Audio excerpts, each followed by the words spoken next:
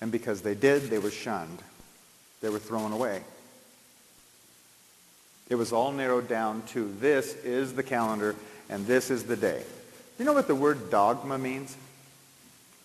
Anybody out there know what the, you know what the word dogma means? Doesn't sound like a good word, does it? The word means unquestioned belief.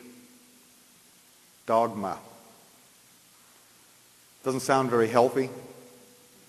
You know what the biggest dogma is on earth? What day it is.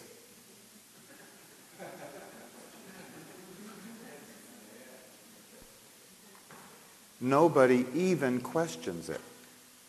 And if they should, that person's crazy.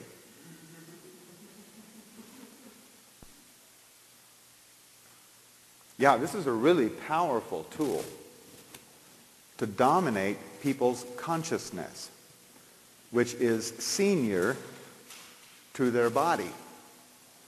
And it is senior to their actions. You see, there is a cascade of event. It goes like this.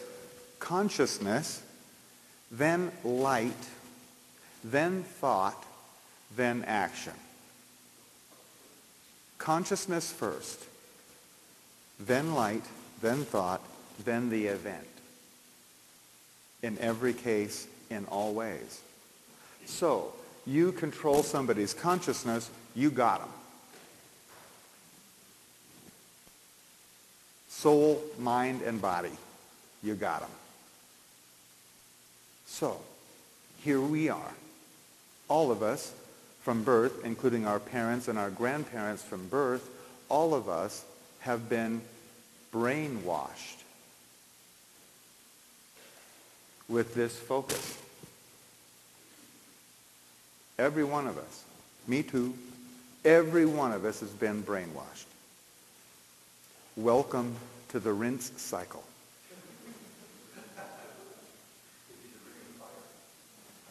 You see, most, uh, uh, first of all, you, you've, you probably heard about other calendars. Like we were talking about the Hebrew calendar, the Islamic calendar.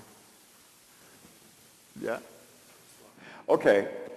Uh, all indigenous calendars, all of the most ancient indigenous calendars had something in common. All of them were 360 days. 360 days long. Well, the archaeologists, they understand that that is the vague solar year, is what they call it. And they have the opinion that these ancient people were so primitive that they couldn't figure out how long the year was. So they just approximated it into 360 days. Well, the Maya had a 360-day calendar. We're going to be talking a whole lot about it. They also knew exactly how long it took for the Earth to go around the sun. They had a calendar like this, the Haab calendar, which was a 365 and one quarter day calendar.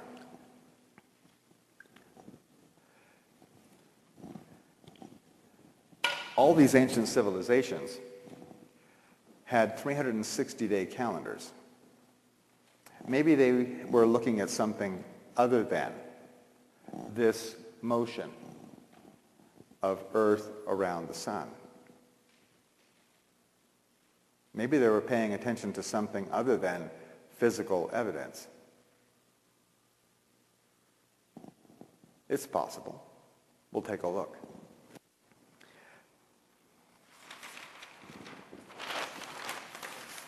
The Maya actually had two calendars at the very center of their civilization.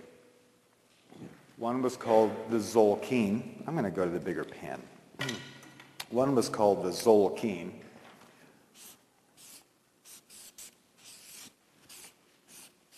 Spelt like that. It means, this means count, and this means day. So this whole thing means count of days. And the Tzolkin calendar was 260 days long. Those of you who have studied something about the Mayan calendar are probably familiar with this one. This is the, the astrological calendar of the Maya, or the personal calendar of the Maya.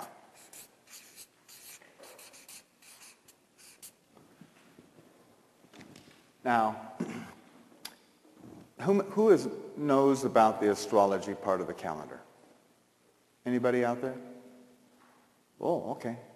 One, one person. Oh, like the, like the astrological thing, the aspects of the Mayan calendar. There is an astrological aspect to this, to this particular calendar. The, there are 13 intentions on the part of creation 13 intentions and 20 different aspects of creation that are represented in this calendar. 13 times 20 is 260. So there's a pattern. As a matter of fact, that's what this is right here. This uh, is a tool that I invented and designed and had produced. And what this tool does is it will take the Gregorian calendar, month and day and the year, and transpose it to the Mayan calendar and show you what day it is on the Mayan calendar. Okay? Today happens to be seven wisdom. Seven is one of the intentions. Seven means alignment with divine will or ethics. And the aspect of creation is wisdom today. So according to the Maya and this calendar, all of creation is resonating with the energies of divine will and wisdom. And that's the purpose of the day. That's the astrological aspect of this 260-day calendar. And by the way, all this information that it's, we'll have these in the back later, but all this information, I went to the Maya lands and met with the Maya shaman and had all of this verified by them. Uh, so there the, is the actual traditional information there.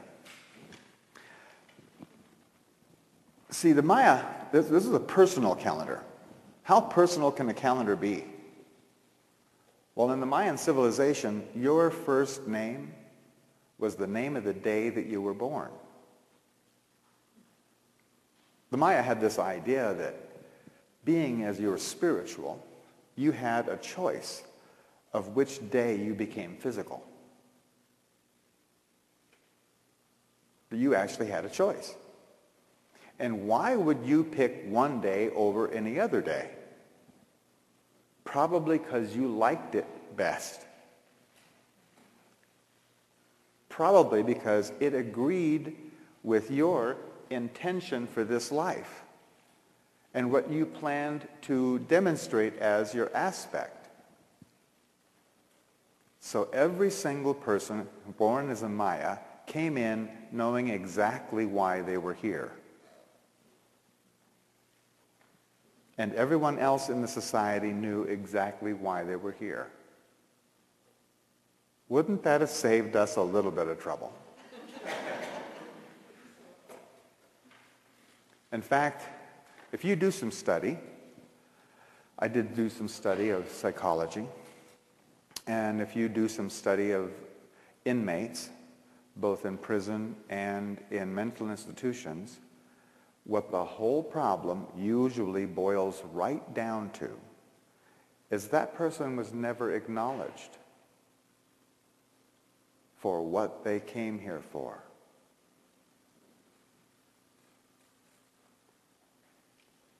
In a lot of cases, they were blamed or something was, the, reason you're here is make me miserable, that kind of thing.